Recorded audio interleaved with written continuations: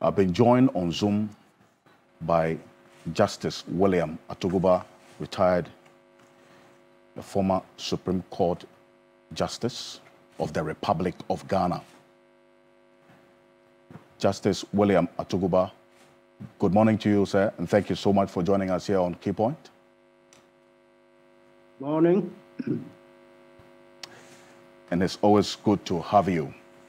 And I know that you have seen this recent ruling in this 109 page document as released by the justices of the Supreme Court within the week on Thursday. One of the issues that has become a matter of concern is the matter of jurisdiction. The five justices who ruled in favor of the plaintiff, uh, alongside Afenyo is saying that even if the case was filed at the High Court and the interpretation of Article 97.1 GNH became a bone of contention, the High Court by Article 130 was required to stay proceedings and refer the issue to the Supreme Court. But in the contention of Justice Amadu Tanko, this procedure was is not that which was employed in this case.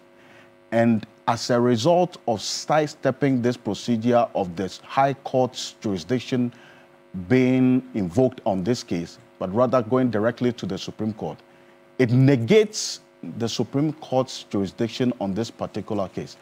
I want to find out your thoughts on this matter of jurisdiction, whether it has been settled, really, by the recent ruling. Um, thank you.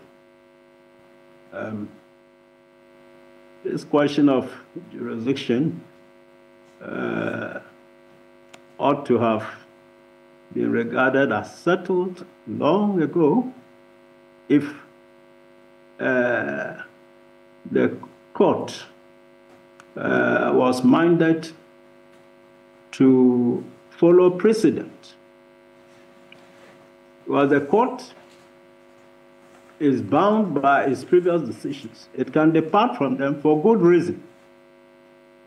But there came a time this provision about stare decisis has virtually been negated. You find in the latter days, and take it from, uh, let's say, 2012, thereabouts going, uh, you find uh, there's complete and frequent violation of that rule of stare decisis.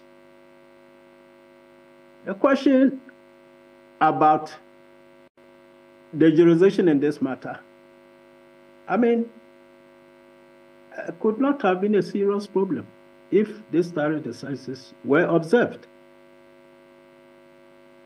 First of all, even let's ask a very common sense question.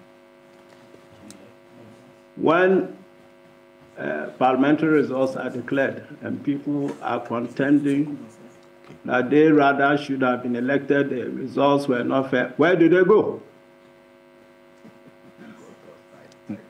Is that to the High Court? And who has ever said that that's the wrong forum? Common sense. Mm. And this common sense is supported by the provisions of the Constitution. Otherwise, how could it have been, have been happening? Unchallenged. But suddenly, uh, you know, beginning from, I think, uh, the beer bell case, uh, uh, second day, uh, Amadou and uh, Bierbel versus uh, second. No, he rather even went a second. Mm. Here was a case that concerned the validity of the election of the MP for Bawku Central, I think. The challenge to his election went to the High Court. And it was thrown out well, it was out of time. They went to the Court of Appeal, they failed there. And then a new action was brought to the Supreme Court. This same situation arose, uh, I think, in 1997 or so, um, in the case of Yeboah versus J.H. Mensah. I was on that panel. Let, us uh, briefly uh, state the facts. J.H. Mm. Mensah, uh, I think it was from Sunyani or so. Uh, he didn't contest that particular election from where he hailed from. Uh, that's Sunyani. He went to another place and he did not reside there for a, I mean, a, a continuous period or a, an aggregate of five years, huh? as required by the Constitution. And actually, if the plaintiffs had taken that matter up in the High Court within the 21 days, he would have been thrown out of Parliament. Because he, he clearly could not mm. satisfy. But they waited until the, that period had expired. And now, and that's where I want, I want always to be forthright. This man turned out to be a problem to the government of the day in parliament as a minority leader. And I think some felt that uh, should be a way to get him out. They then found that the High Court gate was closed, so they sought to circumvent that by coming to the Supreme Court. I was on the panel.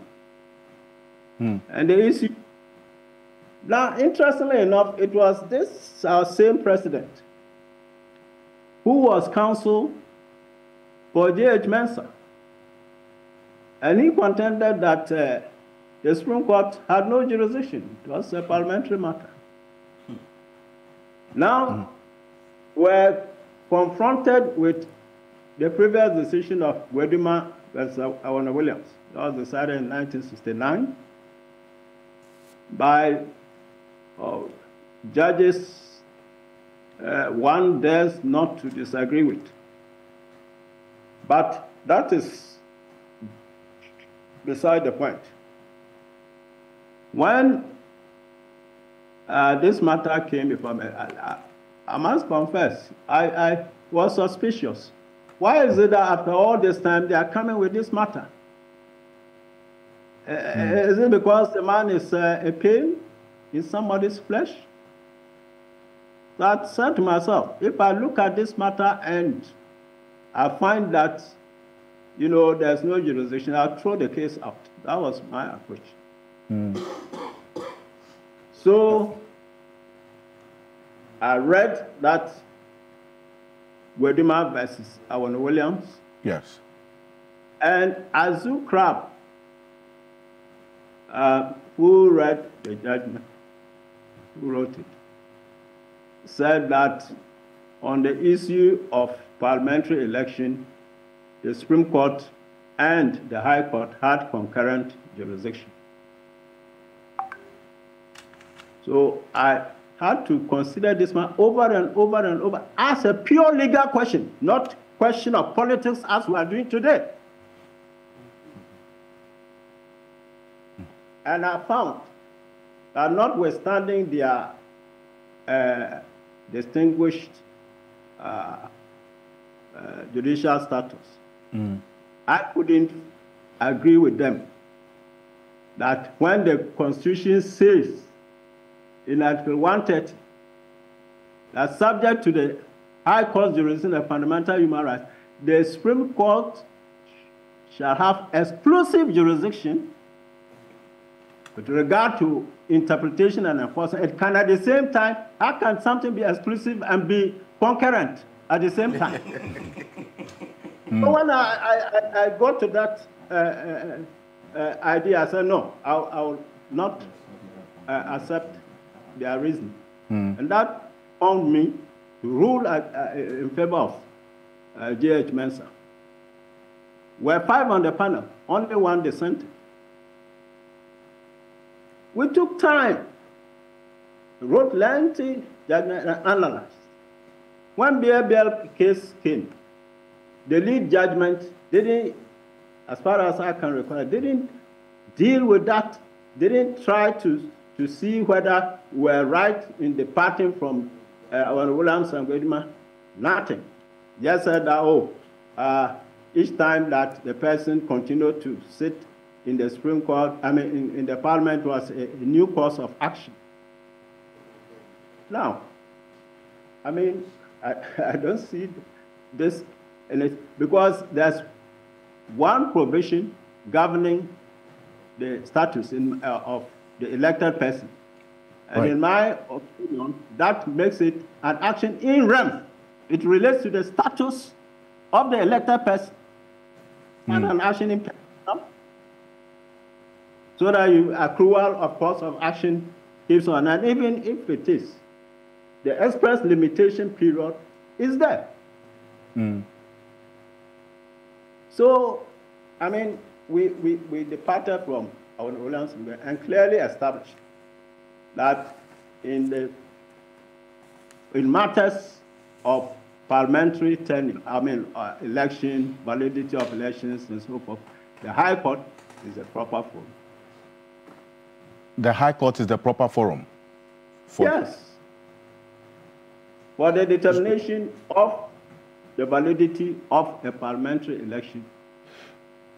And of course, by extension, I mean, that's just one item of that jurisdiction. Mm. If there are others, also like vacation, uh, I mean, it simply follows common sense, common logic, that the same thing will apply. so, in that sense, the Supreme Court shouldn't have even entertained this particular case uh, at all? At all. Now, let me emphasize. A jurisdiction to interpret and to enforce under Article 130 is described as an original jurisdiction. I'm saying that in a situation like this, they don't have original jurisdiction. What they have is a jurisdiction of reference. The, the subject matter belongs to the High Court. And the same Article 132 makes it clear that in a situation like that, they have only reference jurisdiction. So I don't see, I mean, I don't know. That's why I'm emphasizing. And I think that at the heart of all this pretentious discussion going on, hmm. there's no true legality involved. It's just politics. That honorable type.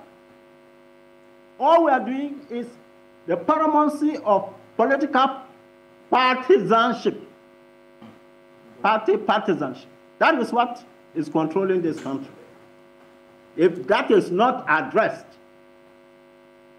we are just wasting our time. True law no longer will apply.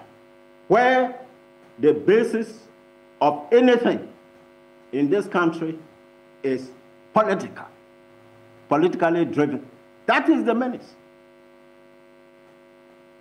I agree with Martin Kpebu's observations along these lines. That is a fundamental matter. Unless it's arrested, this menace, this vice will continue to fester, and constitutionalism will be subverted paid lip service to people suffer. In other words, we are not entitled to benefit from the constitutional order put in place for this country. That is the true situation. That's the true evil to be addressed. So, uh, so say, and, and, and, when you, you make reference to the fact that clearly the Supreme Court shouldn't have entertained this, this case at all. In, That's in the recent ruling of, of, the five who ruled in favor of the plaintiff, They argue yeah. that although the High Court had jurisdiction with regard to whether a seat is vacant or not in Parliament, what was before them was purely a question of law regarding the true interpretation of 97.1 GNH and not factual disputes regarding seat vacation in Parliament. Sorry to say that's superficial reasoning. That's superficial reasoning. Yes. It is not, I mean, but that issue has been addressed by Article 132. That where it arises in a matter belonging to a, another court, the Supreme Court only comes in when an interpretation or enforcement issue arises and is referred to the Supreme Court. That is the only time they can come in. So you don't, you know, take 132 about the, is, is it not dealing specifically with that question of law that they are talking of and how it should be uh, uh, uh you know, brought to the Supreme Court. Indeed, 132 oh. says where an issue that relates to a matter or question referred to in clause 1 of this article arises in any proceedings in the court other than the Supreme Court, the court shall stay the proceedings and refer the question of law involved to the Supreme Court for determination. And the court in yeah. which the question arose shall dispose of the case in accordance with the decision of the Supreme Court. Yes, that is the constitutional uh, uh order. And let me say this those days that law was, you know, there was fidelity to the law. And even today is reflected in their judgment, the majority judgment. Jurisdiction is a fundamental matter. So the conditions upon which your jurisdiction arises, if they are not there, you don't have the jurisdiction. And that is it that this matter is directed to the High Court. However patent the uh, constitutional issue that may arise there, you don't have original jurisdiction, you have jurisdiction of reference. That is it. Is that what they, they, they, they, uh, uh, uh exercised? That's not what they exercised. They purported to exercise original jurisdiction, whereas in this kind of situation, it is only reference jurisdiction. It's quite clear from the same uh, uh, uh provisions of 130. Hmm. So, so as the Supreme Court has always held consistently, a point of jurisdiction, when, when taken and, and successfully upheld, should foreclose any consideration of the merits of any case? Completely. You don't have a jurisdiction, how do you touch the merits? And even in the majority, there is clearly and plenarily stated therein, and I agree with that. Even there's saying as is solidly laid down that as for jurisdiction is so fundamental that even if the parties don't raise it, the court itself suo motu ex debito justitiae. So it sounds like there, there will be no foundation upon which the merits can stand. At all. How can you put something of Mafua and USC? Uh, Mosi and Bagyina? Mafua and USC, I think it's something, but as for Mosi and Bagyina, I think it's uh, 1963, volume 1, Ghana Law Report, page 634 or so. Supreme Court. Mm. Akufo-Addo, ASC, wrote that unanimous judgment So, I mean, you don't say that, well, the same issue would have come. The thing is, when do you have jurisdiction over the issue in a matter that is consigned to a lower court? That is it. No, you don't substitute desiderata for, you know, actuality of jurisdiction. Supreme Court. Well, just, Justice, I want to make, the point and, and, and, and say that to the extent that this matter of jurisdiction is a problem, Justice Amadu says that he finds the decision of the majority as an aberration to the established and accepted judicial position of the Supreme Court. which, with, with profound respect, he says he hopes in no distant future the resultant usurpation of the constitutional prerogative of the High Court incidental to the majority decision will be reversed. You agree with that? Well, yes, but the thing is, as, as I've told you, in the course of time, the Supreme Court was not faithful to the constitutional prescription of stare decisis. So you find Bia uh, and uh, Sakande going off tangent, entertaining a matter that should have been commenced in the High Court, and then some uh, uh, followed. It's very interesting. If you read that Bia case, um, look, the Dotse and another justice, that's interesting, eh? They violent, they disagreed with the majority decision on the grounds that I'm, I'm canvassing. The same grounds. That's very interesting. you know, mm. uh, I, I, think when we, uh, in human life, it's important to apply realism uh, than that things. That, uh, very significant that that happened. The majority decision didn't even discuss, if I remember well, I'm yet to uh, go back to my books. It's six years since I've retired, but I think mm. Recollecting. In, indeed. Uh, they did not examine Awoonor-Williams and Gbedemah. They did not examine Yeboah and Mensah and so forth and try to demonstrate why those decisions should not bind them. That is from a certain time, the Supreme Court, after that you started sliding down judiciary. I'm telling you. You find that this stare decisis was not observed. You mm. find a panel uh, taking a decision one way,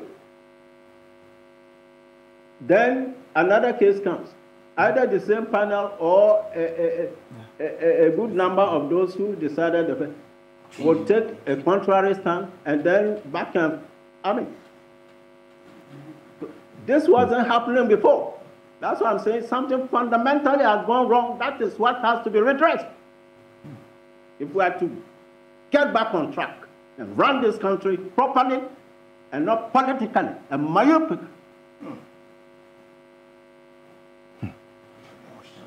Now, um, so, and you, you, think that politics is, is a cause of this, that the judiciary co continuously been drawn into, into politics? Because that was a concern by many that th this case may have just ex exposed, overly exposed the judiciary to, to the politics of it, sir. Yes. You said? sorry, I, I, lost you briefly then. You are talking about the oh. problem that we have, we, yes, the problem that we are faced with now. And yes. the, the, the, the, concern that was raised when this matter started was that this was going to open up the judiciary for the politics of this particular issue. And do you see that as a problem here? It's a problem. That's, that's a realistic problem. Now I'll demonstrate it.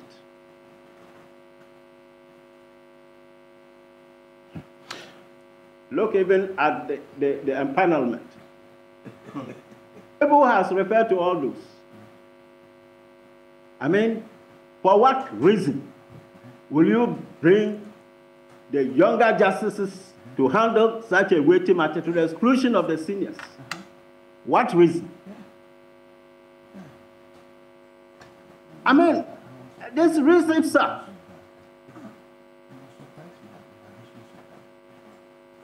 Then they brought in these two others, but I mean, what were they going to do? In fact, even legally, I don't, I don't see whatever was left for them to decide on the substance because in rejecting the application to set aside their uh, uh, injunction, uh, one or their directive, they had ruled that they had jurisdiction. They had already decided that they had jurisdiction. The speaker had no jurisdiction over the matter. It was so. What what was left actually for determination? you know? And so, and these same five who ruled that mm -hmm. there was jurisdiction, they were still there, and only two came, and the five went the way they went, predictably. so it, it was pre predictable? Oh, sure. Hmm. Are you not in this? Don't you follow the horizon of judicial functioning in the Supreme Court? Hmm. Are you surprised? Tell me honestly, were you surprised? Uh, the, the way that the, the, the, five justices went on this on the particular case was was predictable. And let me tell you, why wasn't it even let us even go by pretentious legal theory? They're not the same person who had ruled on the object uh, the application to set aside uh, their processes that they had jurisdiction. Mm -hmm. And so, I mean, if the same people are to pronounce again on the same matter, what do you expect? Okay. Don't you see Yes, indeed. It was the 5 sat on the, the speaker's application. Yeah. Yes. So it, the, the, the dissenting two were, were only added on the substantive case. Yes. Now, what could two do against five? Uh, five? Look, um, as I've said some time ago, this question of political poison in the judicial system didn't start today, but it has gotten to, I mean, its peak under this current administration. It has gotten to its peak. And that is the, the, the real virus, constitutional virus, to be redressed. You find the lawyers coming to the studios, they are not coming there really to talk about lawyers, except a few of them. Some like Martin Kpebu, I don't think is politically minded from his uh, presentations. But some just come, their duty is to uphold their party's line. They're not interested in the correct law, but their party position must prevail. That's what's happening. And so, it, that's the fundamental thing to, to, to otherwise this kind of thing will continue under the guise of legality and constitutionalism, under the guise. What's the danger that we're faced with uh, with this situation as you have so passionately spoken about if what you have just espoused continues? Is that what is the, the, the way forward? Yes the, in fact, the danger we are confronted with, with the, the, the, con, the politicization of the judicial process as you put it there. What is the danger that we are faced with if this continues? That's what I was asking. Oh, I mean, uh, it will be, will be uh, continuing in the rule of people rule of politics, not of law. Clearly, that, that rule of politics, political part, partisanship. That's what is obtaining. And it's, if it's not arrested, no matter which party comes, will continue suffering. That's why I'm so concerned. Hmm. And continuously. And the, uh, pardon?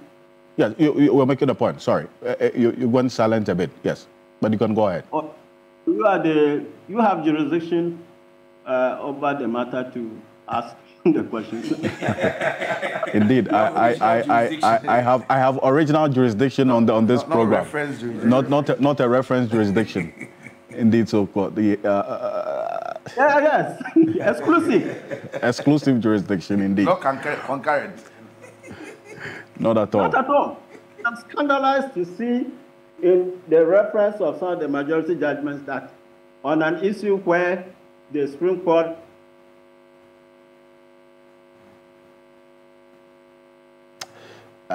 It's un- unfortunate. We we we're having a this. this, this and the High Court Yes. have concurrent jurisdiction on the matter, the, uh, uh, the concurrent jurisdiction of kind of concurrence.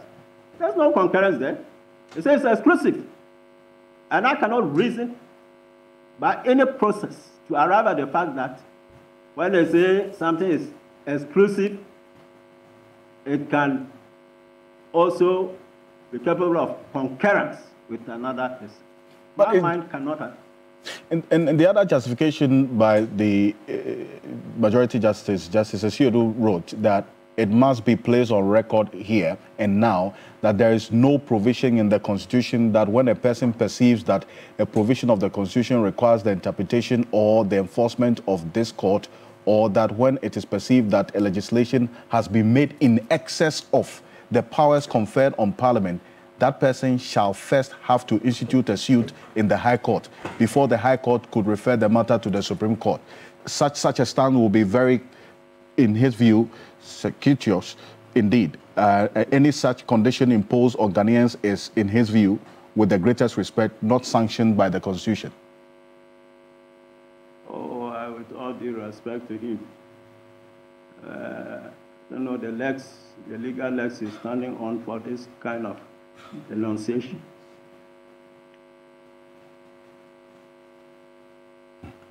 Is anybody seriously saying that where a, a matter, cause or matter, is within the original jurisdiction of another court and only referential jurisdiction is reserved to the Supreme Court, the Supreme Court can still purport to have original jurisdiction. And where is concurrence? I mean, the scenario he has even painted doesn't arise. Because you are bound to go there and then referentially come to a Supreme Court. And let me say this politics apart, long ago, it's not today. Mekankai and the Republic, Asiama and so look, long ago, a, and from Awoonor-Williams and Gbedemah, if a matter is not ambiguous, any court can apply the Constitution. In that case, interpretation doesn't arise. These days, and from the way things are going, can give a dog a bad name and hang it. Something can be crystal clear. Oh, it's not clear. The, I mean, these are the things. Now, let me tell you this situation has to be arrested seriously for constitutional governance and not political, I mean, parti- partisanship uh. That's not governance take place. One, the mode of appointment of judges suffers from the virus of hepatitis infection. That's even gone to cirrhosis. The judge has become doctor. Prescribed. Sir, Why do you want to establish an independent judicial and the president is the appointing? And even if you look at the appointment, uh, he specifically has the power to nominate and appoint the chief justice, who is the head.